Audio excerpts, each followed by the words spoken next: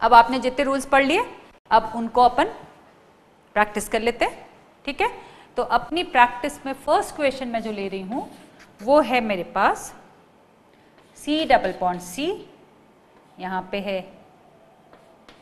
H, यहाँ पे O M E यहाँ पर मेरे पास है N, M E टू और ये है मेरे पास F. अब इस एग्ज़ाम्पल में आप देखो इन दोनों में से किसको हायर प्रायोरिटी दोगे? ये हाइड्रोजन है, ये ऑक्सीजन है। फ़र्स्ट एटम यदि अलग होते हैं तो हम किसको प्रायोरिटी देते हैं? जिसका एटॉमिक नंबर ज़्यादा है।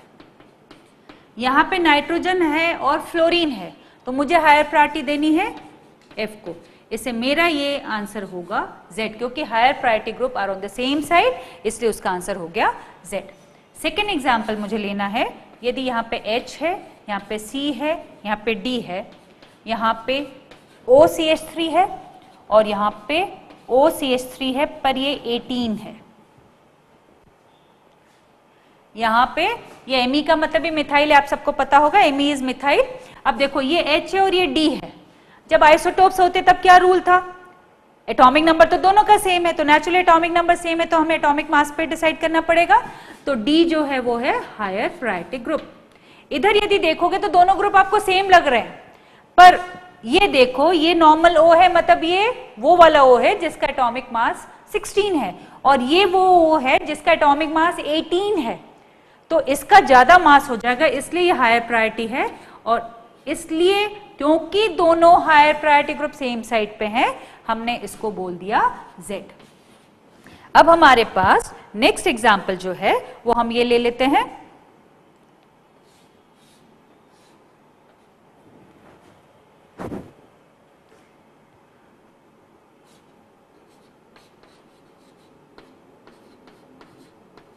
C H two C D three और यहाँ पे हमने लिया C D two C H three C D two C H three यहाँ हमने ले लिया सी एच थ्री और यहाँ हमने ले लिया एच ठीक है?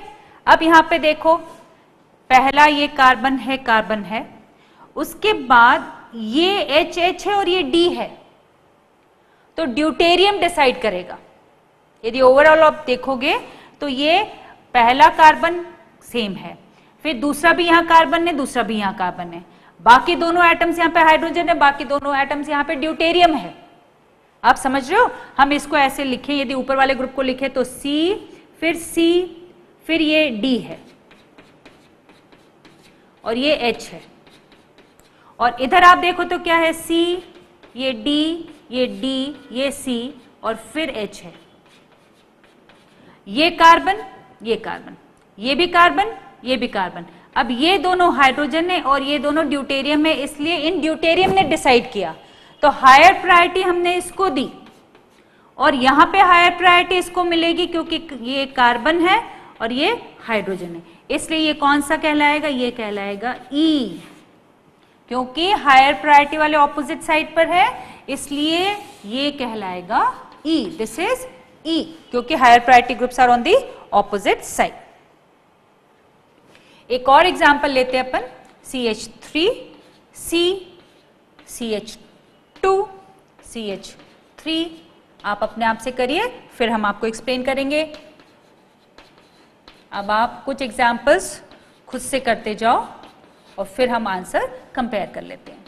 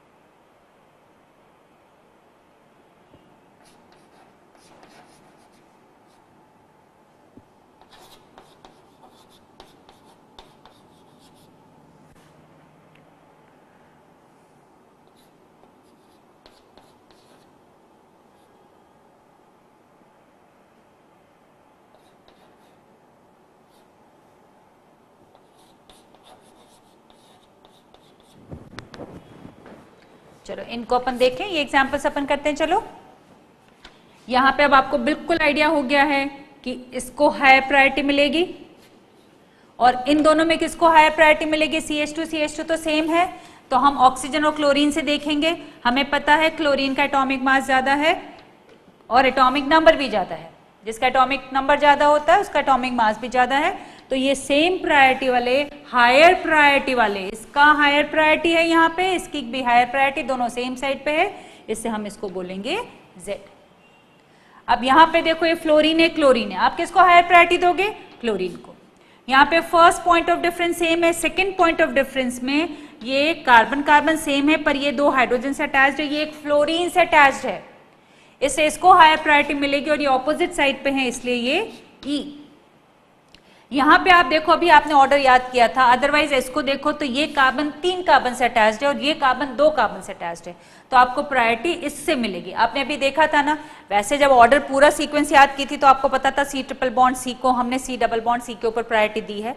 पर यदि ऑर्डर याद नहीं है तो इसका मतलब आप ये देखो कि एक कार्बन के साथ यदि ट्रिपल बॉन्ड है मतलब वो कार्बन तीन कार्बन से अटैच्ड है। और इस कार्बन के साथ एक डबल बॉन्ड है मतलब ये दो कार्बन से अटैच है। तो नेचुरली आप हायर प्रायोरिटी इसको दोगे। यहाँ पे एक कार्बन दो कार्बन से अटैच है, यहाँ पे एक कार्बन एक ही कार्बन से अटैच है, इसलिए आप इसको प्रायोरिटी दोगे। दोनों सेम साइड पे हैं, इसलिए ये जेड है। ये वाला केस देखो, पहला नाइट्रोजन है, और यहाँ पे पहला कार्बन है, इसलिए आप किसको प्रायोरिटी दोगे? नाइट्रोजन को। यहाँ पे यदि आप देखोगे तो यहाँ पे एक कार्बन ये भी कार्बन ठीक है। ये कार्बन एक ओ से अटैच्ड है, पर ये कार्बन डबल बॉन्ड ओ मतलब ये कार्बन दो ओ से अटैच्ड है। इसलिए इसको प्रायोरिटी मिलेगी और ये एग्ज़ाम्पल भी हो गया जेड अब नेक्स्ट क्वेश्चन जो हम करना चाहेंगे वो है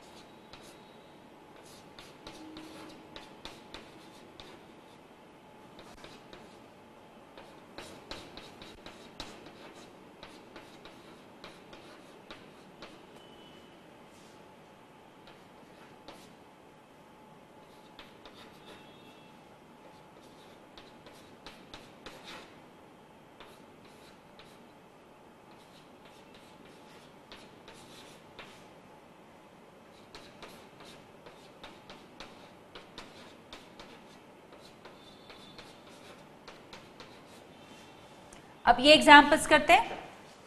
यहाँ पे first point of difference same है। ये भी कार्बन ये भी कार्बन नेक्स्ट पे चलो तो ये नाइट्रोजन है, ये कार्बन है। तो इसको प्रायोरिटी दोगे। इसमें ये कार्बन ये भी कार्बन ये कार्बन एक कार्बन से अटैच्ड है। जबकि ये वाला कार्बन तीन कार्बन से अटैच्ड है। तो अपन ने इसको प्रायोरिटी दे दी। देखो, ये कार्बन इससे दो हाइड्रोजन लगे हैं और एक कार्बन लगा। सी ट्रिपल बॉन्ड सी मतलब सी तीन कार्बन से अटैच्ड है। तो दो हाइड्रोजन के कंपैरिजन में तीन कार्बन को तो प्रायोरिटी देनी पड़ेगी, इसलिए इसको प्रायोरिटी दी तो ये हो गया ई e. यहाँ पे आपको दिख रहा होगा सीओ सीओ सेम है सीएल और बीआर में से आप इसको प्रायोरिटी दोगे। यहाँ पे सी ट्रिपल बॉन्ड सी है, यहाँ पे सी सिक्स एच फाइव है। आपने भी देखा था, हमने बेंजीन रिंग को, हमने फिनाइल रिंग फिनाइल ग्रुप को सी ट्रिपल बॉन्ड सी से हायर प्रायोरिटी दी थी। तो ये दोनों higher priority group same side पे हो गए तो हमने इसको बोला जेड अब यहाँ पे देखो सीओ सीओ सेम है। यहाँ पे ओ है, यहाँ पे सी एल है तो हम इसको प्रायोरिटी देंगे। यहाँ पे सी ओ एच है सी एच ओ है। आपको पता है, ये कार्बन तीन ऑक्सीजन एक ये और डबल बॉन्ड ओ मतलब दो ऑक्सीजन से अटैच्ड है। तो ये कार्बन तीन ऑक्सीजन से अटैच्ड है, ये कार्बन दो ऑक्सीजन से अटैच्ड है। इससे इसको प्रायोरिटी मिली और ये हो गया ई आई होप आप सबको बात समझ में आ रही होगी। हमने प्रायोरिटी ऑर्डर के जो रूल्स डिसाइड किए थे, उसके बेसिस पर ही हम ये सारे क्वेश्चंस कर रहे हैं। अब नेक्स्ट और क्वेश्चन देती हूँ, दो चार आपको। आप वो भी करके देख लो, आपसे हो रहे हैं कि नहीं हो रहे। नेक्स्ट क्वेश्चन जो मुझे आपको देना है, वो ये है।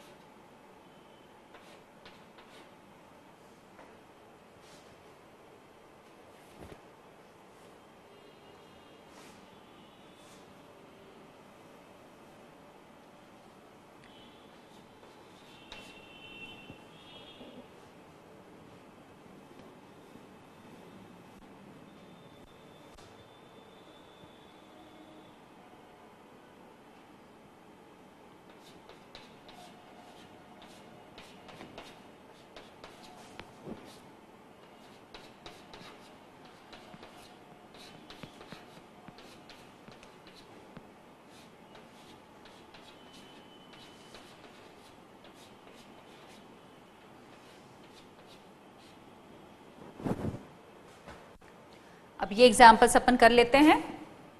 इसमें आप देखो, यहाँ पे देखना अपने को, इधर ये वाले को इसको प्रायोरिटी देंगे और इसमें इसको प्रायोरिटी देंगे। सेम साइड पे है, इसलिए ये हो गया Z यहाँ पे एक कार्बन दो कार्बन से अटैच्ड है, यहाँ पे भी एक कार्बन दो कार्बन से अटैच्ड है। फिर अपन ने आगे देखा तो आगे वाले पॉइंट पे एक कार्बन तीन हाइड्रोजन से अटैच्ड है, पर ये कार्बन फिर दो कार्बन से अटैच्ड है।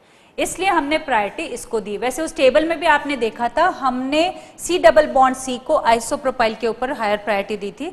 पर इसका कारण क्या है? आप बोलोगे, ये कार्बन दो कार्बन से अटैच है, ये भी दो कार्बन कार्बन से अटैच है। ठीक है, फिर नेक्स्ट पे चलो। तो नेक्स्ट पे चलोगे तो नेक्स्ट वाला कार्बन भी दो कार्बन से अटैच है, पर इसके दो कार्बन दो कार्बन से अटैच नहीं है। और इसमें ओ है, इसमें सी है तो नेचुरली हमें ओ को प्रायोरिटी देनी थी। तो ओ सॉरी ये गलत हो गया। यहाँ पे हम यदि ओ को प्रायोरिटी दे रहे हैं तो ये हायर प्रायोरिटी है। इन दोनों ग्रुप्स में ये हायर प्रायोरिटी है। ये आप देख रहे हो डैश पे है, ये आप देख रहे हो वेज पे है, दोनों ऑपोजिट साइड पे है, इसलिए ई e होगा।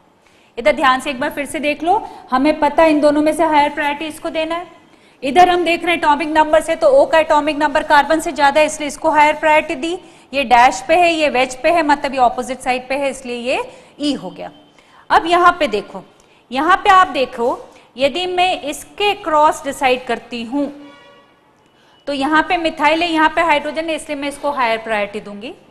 ये वाला जो है ये पूरा देखो, ये H दोनों ऑपोजिट साइड पे है, इसलिए ये E है। इसके H सेम साइड पे है, इसलिए ये Z है। मुझे प्रायोरिटी Z को देनी है तो यदि मैं इसको देखूँ, ये देखूँ तो ये दोनों ऑपोजिट है, इसलिए फाइनल आंसर ई है। देखो एक बार फिर से सुनो। अभी मैंने बताया था कि डबली बॉन्डेड कार्बन से जो दो ग्रुप्स अटैच है, देखो, ये एक ग्रुप है, ये एक ग्रुप है। इस ग्रुप को खाली देखो। ये वाले ग्रुप में ये दो एच ऑपोजिट साइड पे हैं, इसलिए ये ई e है। ये वाला जो है, ये ई e है। इसमें दोनों एच सेम साइड पे, इसलिए ये जेड है।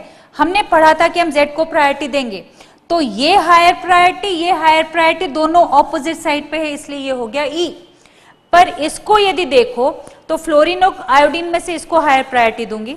इधर देखो, ये दोनों एच सेम साइड पे है, इसलिए ये जेड है। ये दोनों एच सेम ऑपोजिट साइड पे है तो ये ई e है। ये आप देख रहे हो, मैं यहाँ पे कंसिडर कर रही हूँ, ये वाले केस को ले रही हूँ। आयोडीन को ज़्यादा प्रायोरिटी दी। अब इन दोनों में से जब डिसाइड करने की बारी आई तो दोनों एच यहाँ पे सेम साइड पे, इसलिए ये जेड है। यहाँ के दोनों एच ऑपोजिट साइड पे ये ई e है। तो मेरे लिए प्रायोरिटी में ये ज़्यादा है और ये दोनों ऑपोजिट हैं, इसलिए मेरा आंसर ई e होता है। तो इस तरह आपके पास ये सारे एग्जाम्पल्स हो गए, जहाँ पे हम ई e और जेड नॉमन करते हैं। तो हमारे पास जब डबल बॉन्डेड चीज़ें रहती specially carbon double bond carbon या रिंग हो जिसमें कार्बन और कार्बन के बीच में बॉन्ड हो तो या तो हम सिस्ट्रांस कहते हैं, या हम ईजेड e करते हैं। उसके अलावा भी जब बहुत सारे कार्बन एटम्स एक लाइन में होते हैं और वहाँ पर डबल बॉन्ड्स होते हैं तो हम हर डबल बॉन्ड के क्रॉस भी ई जेड डिफाइन करते हैं। तो वो वाले एग्जाम्पल्स ले लेते हैं, उसके बाद हम जाएँगे सिन और एंटी पर। चलो, अब अपन देखें सी डबल बॉन्ड एन हमने सी डबल बॉन्ड सी को निपटा दिया, हमने साइक्लिक एल्केन्स को निपटाया। अब हम करें कि सी डबल बॉन्ड एन में कैसे होगा जीआई उनमें नॉर्मली दो केसेस हम देखेंगे ऑक्साइम और इमाइंस हालाँकि एजो जहाँ पे एन डबल बॉन्ड एन होता है, वहाँ पे भी जीआई होते हैं कॉन्सेप्ट वही वाले लगते हैं। तो ऑक्साइम में ऐसा है कि जब मेरे पास एल्डो ऑक्साइम होगा, आप सब समझते हो ऑक्साइम का फॉर्मूला ये होता है यहाँ पे एल्डो ऑक्साइम मतलब जो एल्डिहाइड से ऑक्साइम बनता है।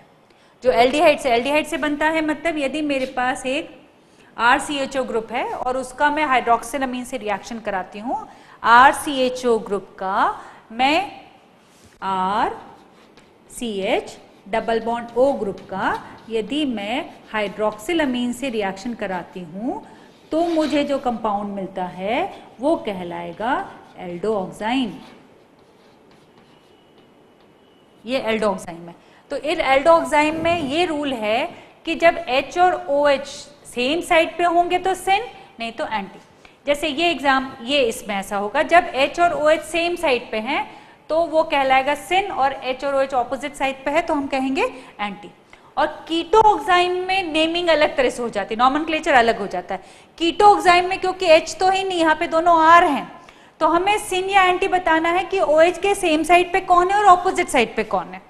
आप एग्ज़ाम्पल देखो, यहाँ पे ओ OH के सेम साइड पे मिथाइल है और ऑपोजिट साइड पे इथाइल है.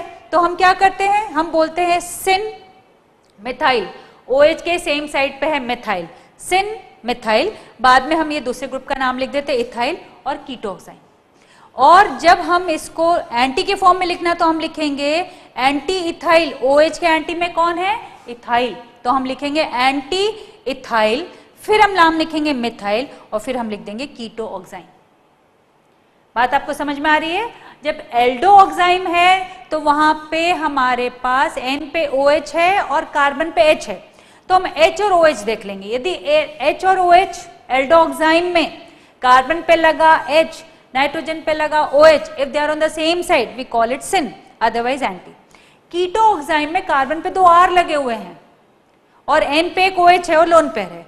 तो हम ओ OH के रेस्पेक्ट में देखेंगे कौन सा आर ग्रुप सेम साइड पे है और कौन सा आर ग्रुप ऑपोजिट साइड पे। जैसे यहाँ पे हम कहेंगे, इसके सेम साइड पे मिथाइल लेना तो हम बोलेंगे सिन मिथाइल इथाइल कीटोक्साइम इसका मतलब साफ़ है कि सिन है मतलब और मिथाइल है मतलब ओ OH और मिथाइल सेम साइड पे है। यहाँ पे हम बोल रहे हैं एंटी इथाइल मतलब OH के ऑपोजिट में इथाइल है तो नेचुरली मिथाइल सेम साइड पे हुआ। तो इस तरह इनकी नेमिंग होगी जब हमारे पास ऑक्साइम्स होंगे एल्डो ऑक्साइम या कीटो ऑक्साइम इमाइंस में हमारे पास एक अलग सिस्टम चलता है। उसमें यह सिस्टम चलता है कि नाइट्रोजन के साथ जो भी ग्रुप लगा हुआ है यदि वो कार्बन पे लगे हुए ग्रुप्स में से लोअर प्रायोरिटी के साथ है तो वो सिन है अदरवाइज़ एंटी है। जैसे ये एग्ज़ाम्पल में नाइट्रोजन पे लगा हुआ ग्रुप हाइड्रोजन है। कार्बन पे लगा हुआ ग्रुप मिथाइल और हाइड्रोजन है, और हाइड्रोजन का क्या है? लोअर प्रायोरिटी है मिथाइल के कंपैरिजन में तो इसको हम बोलेंगे सिन यहाँ पे यदि आप देखोगे तो नाइट्रोजन पे ग्रुप लगा हुआ इथाइल और यहाँ पे जो ग्रुप लगा हुआ है, ये इथाइल जो है, वो क्या है? हायर प्रायोरिटी ग्रुप है ये लोअर प्रायोरिटी ग्रुप है ये लोअर प्रायोरिटी ग्रुप के ऑपोजिट साइड में लगा हुआ है, इसलिए हम उसको बोलेंगे एंटी यहाँ पे इसका डी इसके लोअर प्रायोरिटी ग्रुप के साथ सेम है, इसलिए हम इसको बोल रहे हैं सिन ये लोअर प्रायोरिटी इन दोनों में से इसको लोअर प्रायोरिटी मिल रही है। डी ए है, ये दोनों सेम साइड पे है, इसलिए हमने इसको बोला है सिन तो इमाइंस के केस में थोड़े से रूल अलग हो जाते हैं, ये आप याद रखोगे। और फिर हम बाकी वाले एग्जाम्पल्स देख लेते हैं कि उनमें हम जीआई कैसे बताते हैं। आप एक बार इन चीज़ों को नोट कर लीजिए। देखो अल्टीमेटली रूल्स तो याद करने के लिए होते हैं। रूल्स यदि याद नहीं करें तो आपको कैसे आप कोई भी क्वेश्चन आंसर करोगे। पर रूल्स याद करने के बाद यदि हमने बहुत सारे एग्जाम्पल्स कर लिए तो इतने एग्जाम्पल्स में जब हम रूल अप्लाई करते जाते हैं तो वो ऑटोमेटिकली हमें याद हो जाते हैं और हमें एक्स्ट्रा एग्जर्ट नहीं करना पड़ता है। तो ये आपके पास ऑक्जाइम्स के और रिमाइंस के रूल लिखे हुए हैं। आप इनको नोट करो और इनको रिवाइज करो और फिर हम इनके और क्वेश्चन करते हैं। ये कुछ और एग्ज़ाम्पल देखते हैं? चलो, यहाँ पे नंबरिंग करते हैं। One two three four five six seven, eight. यहाँ पे सेकेंड पे डबल बॉन्ड है फोर्थ पे डबल बॉन्ड है सिक्स पे डबल बॉन्ड है। पर आप देखो, ये इधर सेम साइड गए, ये भी सेम साइड गए, ये भी सेम साइड गए तो हम लिखेंगे two Z four Z six Z two पे भी जेड है फोर पे भी जेड है सिक्स पे भी जेड है। यहाँ पे यदि हम देखें one two three four five six seven देखो यहाँ पे ये इधर जा रहा है ये ऑपोजिट साइड पे जा रहा है। मतलब टू पे क्या है? ई e. फोर पे ये भी इधर जा रहा है ये ग्रुप भी इधर जा रहा है। तो फोर पे है जेड सिक्स पे दोनों ये भी इधर ये भी इधर। इससे सिक्स पे भी जेड ये देखो ये और ये ग्रुप ऑपोजिट जा रहे हैं इसलिए ये ई e, ये दोनों ग्रुप सेम साइड पे जा रहे हैं इसलिए जेड ये दोनों ग्रुप सेम साइड पे जा रहे हैं इसलिए जेड यहाँ पे आप देखो one two, three, four, five, six, seven, eight, nine. यहाँ पे टू के दोनों ग्रुप एक इस साइड जा रहा है कि इस साइड। तो हम बोलेंगे टू ई। फोर के दोनों ग्रुप सेम साइड हैं। तो फोर जेड। सिक्स के भी दोनों ग्रुप सेम साइड है। तो सिक्स जेड। इस तरह हम इनकी नेमिंग करते हैं। आप हर डबल बॉन्ड के वहाँ हमको बताना पड़ता है कि वो ई e फॉर्म है, कि वो जेड फॉर्म है। यहाँ पे आप देखो, ये डबल बॉन्डेड ग्रुप्स हैं दोनों। कार्बन और नाइट्रोजन के बीच में डबल बॉन्ड है, पर एक कार्बन पे दोनों ग्रुप सेम लगे हैं, इसलिए इसमें नहीं होगा। हम लोन पेयर को भी एक ग्रुप कंसिडर करते हैं, पर एक कार्बन पे दोनों ग्रुप सेम है तो जीआई हो ही नहीं सकता। यहाँ पे कार्बन पे भी दोनों ग्रुप सेम है और ऑक्सीजन पे भी दोनों लोन पेयर है। इससे यहाँ पे भी जीआई नहीं हो सकता। यहाँ पे आप देखो, ये दो ग्रुप्स तो अलग हैं पर दोनों लोन पेयर तो एक ही बात हो गई सेम ही चीज़ हो गई, इसलिए यहाँ पे भी जीआई नहीं होगा। पर इसी में यदि H पॉजिटिव डालते हैं और H पॉजिटिव लग गया तो अब आप देखो, ये दो ग्रुप्स अलग है कार्बन पे और ऑक्सीजन पे भी एक हाइड्रोजन है और एक ये लोन पेयर है। इससे यहाँ पे जीआई होगा। ये वाला देखो, यहाँ पे एम e है एच है, ये दोनों ग्रुप अलग। यहाँ पे एच है और लोन पेयर है, दोनों ग्रुप अलग, इसलिए जीआई होगा। पर जब आपने इसमें एच पॉजिटिव डाल दिया तो अब यहाँ लोन पेयर की जगह एच आ गया। अब ये नाइट्रोजन पे, ये डबल बॉन्डेड ग्रुप पे कार्बन और नाइट्रोजन के बीच में डबल बॉन्ड है। कार्बन पे दोनों ग्रुप्स अलग लगे हैं, पर नाइट्रोजन पे दोनों ग्रुप सेम लगे हैं, इसलिए यहाँ पे नहीं होगा। इस केस में देखो, यहाँ पे आपके पास डबल बॉन्डेड ऑक्सीजन पे दोनों लोन पेयर है, दोनों ग्रुप सेम है, इसलिए जीआई नहीं होगा। इस वाले केस में यदि आप देखते हो, आप मेरी बात समझ रहे हो ना? कि यदि लोन पेयर भी किसी डबल बॉन्डेड एटम पे लगा हुआ है तो हम उस लोन पेयर को भी एक ग्रुप जैसे कंसिडर करेंगे। यदि एक डबल बॉन्डेड एटम पे दो लोन पेयर है तो वो जीआई शो नहीं कर सकता। वैसे ही इसका यदि मैंने टॉटोमर बनाया तो ये टॉटोमर बना। अब मैं यहाँ पे देख रही हूँ, आप देखो, ये यहाँ देखा जा रहा है, यहाँ पे। तो यहाँ जब हम देख रहे हैं तो इस कार्बन पे एच और मिथाइल दोनों अलग अलग ग्रुप है। इस कार्बन पे भी मिथाइल और ओएच ये दोनों भी अलग अलग हैं। इसलिए हम देख रहे हैं कि यहाँ पे जीआई हो सकता है। और इस केस को देखो। इस केस में अभी जीआई नहीं है। इस प्रेजेंट केस में जीआई नहीं है, क्योंकि ये डबल बॉन्डेड ऑक्सीजन पे दो लोन पेयर है, इसलिए जीआई नहीं है। पर इसी में यदि एच पॉजिटिव मैंने डाला तो अब मेरे पास इस कार्बन पे दो अलग ग्रुप है, इस ऑक्सीजन पे भी दो अलग ग्रुप है। एक हाइड्रोजन है और एक लोन पेयर है इसलिए इसमें भी जीआई है। और यदि मैंने इसका टॉटमर बनाया इस तरह तो आप ये वाले यहाँ पे देख रहे हो। आप यहाँ पे क्या देख रहे हो? आपके पास C डबल बॉन्ड N है, C पे एक तरफ़ ओ OH है, एक तरफ़ सी एच थ्री है, यहाँ पे एक तरफ़ लोन पेयर है और एक तरफ़ H है। इसलिए ये भी GI शो करेगा।